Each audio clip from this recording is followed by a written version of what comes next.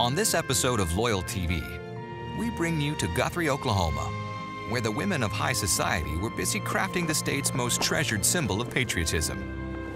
You know, these are extremely symbolic acts, and they basically bring Oklahoma into the creation story of the United States.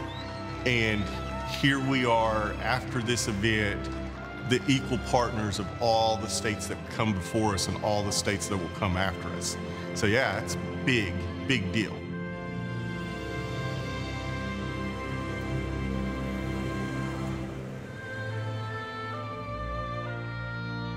Well, the building we're in is the Carnegie Library. The room behind me is the women's meeting room, and that's where the sewing of the flag took place.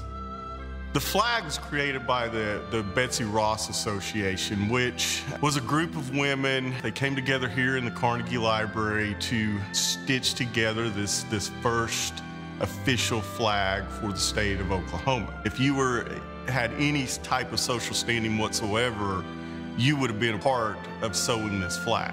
It was made up of, of, prominent women. I think there was about 150 in total that participated in it, and 92 of them actually sewed stars onto the flag. You know, because both sides of the flag will have 46 individual stars. So Oklahoma becomes a state November 16th, 1907.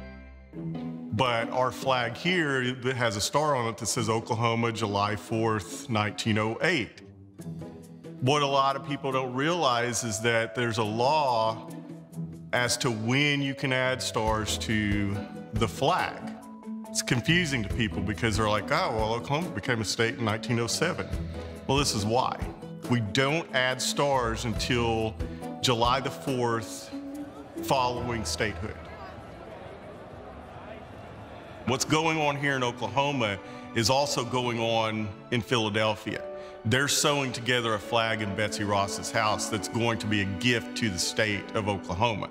Because the intention was to get these flags done with all of the different communities to raise their 46 star flag at the same time.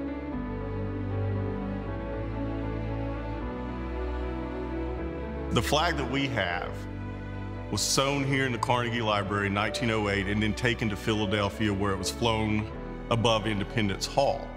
Um, it stayed there in Philadelphia until 1989 when the National Park Service returned it to the state of Oklahoma or the Oklahoma Historical Society, at which point we put it on display here in commemoration of the land run of, of 1889, so the 100th anniversary of that.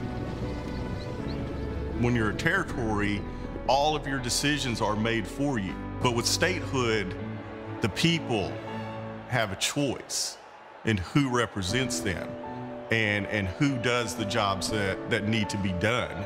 With the creation of this flag and the taking it to Philadelphia and sewing on the star in Betsy Ross's house and taking it to the flagpole at Independence Hall, where the Declaration of Independence was signed, and raising it above that. This is an extremely patriotic event.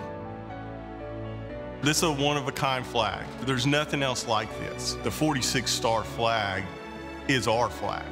It doesn't belong to anybody but us. It's just our flag.